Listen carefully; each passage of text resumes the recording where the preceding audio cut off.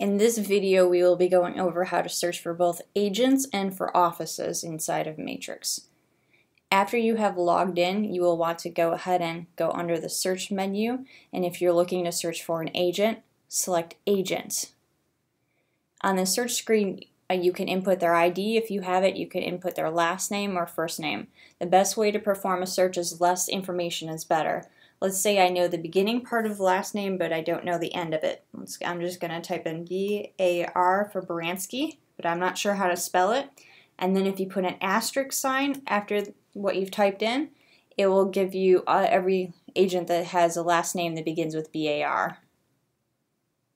Now if this is too many agents, and you, you can narrow it further by clicking back on criteria here.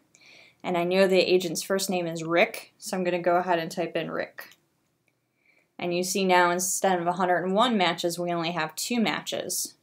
Now if I'm looking for Rick Baranski, I can just click on his ID here, and that will take me into looking at the agent's information. I see his email address, I see his phone number, and so forth.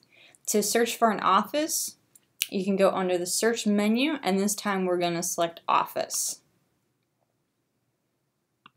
And then on the office search information screen here, you will most likely know the office name that you're looking for. If you don't know the full name of the office, just start to type in the first few letters of the office name. And then again use utilize the asterisks and then click on results. You can see here we've got 12 results. And I was looking for Coldwell Banker.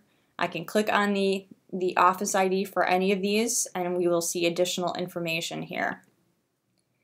We've got the address, we've got who the broker is. We have an, the ability to view all of their active listings or all of the office's agents. Let's go look at all of the office's agents by clicking Our Office Agents. And then we see the agent's information. This concludes our video on how to search for both agents and offices inside of Matrix. Thank you.